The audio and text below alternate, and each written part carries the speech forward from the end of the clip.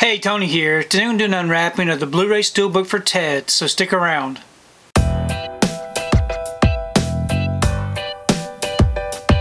So today I wanted to take time to do an unwrapping of the Blu-ray Steelbook for Ted. This right here was from the UK. Here's the front, and here's the back. If you'd like to read up on it, check out these special features, you can go ahead and pause and do so.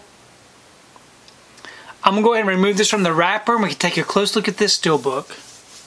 Okay, got the wrapper off and the J card removed. Here's the front of the steel book. It is a matte finish. We do have a debossed TED title right there. So it looks really nice. And on the back we have the reverse side. Which I like the way that they do that. We open it up. We have the front and back together.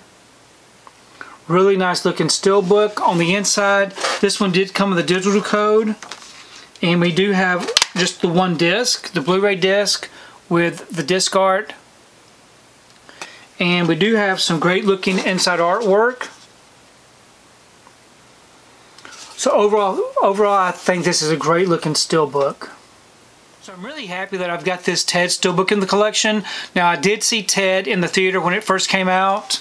Um, I forgot exactly why it was that I saw this. I think something happened to where um, the movie that I was going to see was sold out so I ended up just having to pick something else to see, so I saw Ted. Please leave me a comment below. Let me know what you think about this particular steelbook unwrapping, and also let me know your thoughts on Ted, because I really do enjoy reading your comments. If you like what you saw here today, please give it a thumbs up and share the video. If you haven't subscribed to my channel, I really appreciate it if you would subscribe.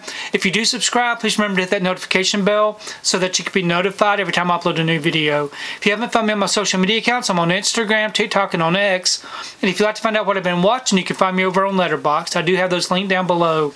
But thanks again for watching, and we will see you next time.